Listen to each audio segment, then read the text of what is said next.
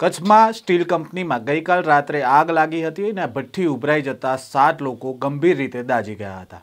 આ ફેક્ટરીમાં એવી આગ લાગી કે કામદારો પોતાનો જીવ બચાવવા માટે સળગતા શરીરે દિવાલ પરથી કૂદી ગયા.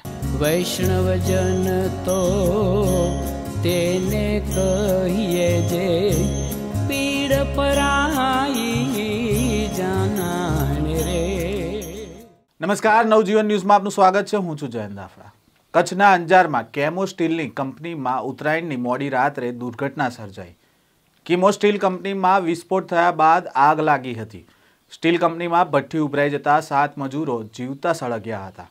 સ્ટીલ ઓગળતા સમયે સાત મજૂરો ગંભીર રીતે દાઝી જતા તેમાંથી ત્રણ કામદારોના મોત નીપજ્યા છે. જોકે સળગતા શરીરે દિવાલ કૂદતા કામદારોના દ્રશ્યો કેમેરામાં કેદ થયા હતા. ચાલુ કામમાં અચાનક જ સ્ટીલ કંપનીની ભઠ્ઠી ઉભરાઈ ગઈ હતી અને સ્ટીલ પીગળતા સમયે બનેલી આ દુર્ઘટનામાં મજૂરો ગંભીર રીતે દાઝી ગયા હતા.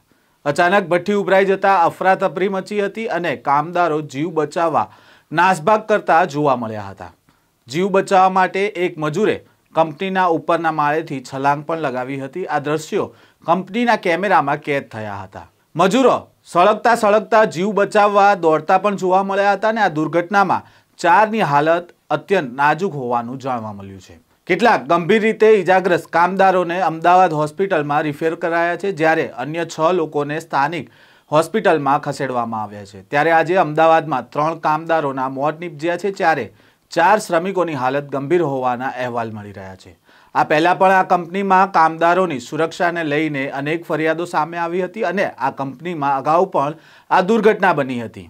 હાલ આ બનાવને લઈને પોલીસ ટીમ તપાસમાં લાગી ગઈ છે કે આ બનાવ કઈ રીતે બન્યો. સમગ્ર મામલે એડી પણ દાખલ કરવામાં આવી છે. આ બનાવ અંગે જિલ્લા પોલીસ વડા સાગર બાગમારેનું નિવેદન સામે આવ્યું છે. તેમણે કહ્યું કે આ કંપનીમાં ભઠ્ઠીમાં સ્ક્રેપ નાખીને પીગળાવતા હતા. તે દરમિયાન આ દુર્ઘટના બની હતી જેના કારણે કામદારો છે તે દાઝી ગયા હતા. જેથી પ્રાથમિક સારવાર માટે ગાંધીધામ ખાતે સારવાર આપવામાં આવી હતી ને ત્યારબાદ વધુ સારવાર માટે ચાર કામદારોને અમદાવાદની હોસ્પિટલમાં ખસેડવામાં આવ્યા હતા.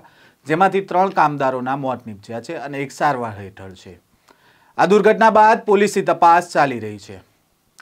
આ ફેક્ટરીમાં ત્રણ કામદારોના મોત બાદ કંપની સામે કોઈ પણ ફરિયાદ હજી નથી નોંધાઈ, જેથી ચર્ચા એવી પણ ચાલી રહી છે કે કિમો સ્ટીલ કંપની ગુનેગારોને બચાવવાના તમામ પ્રયાસો કરી રહી છે.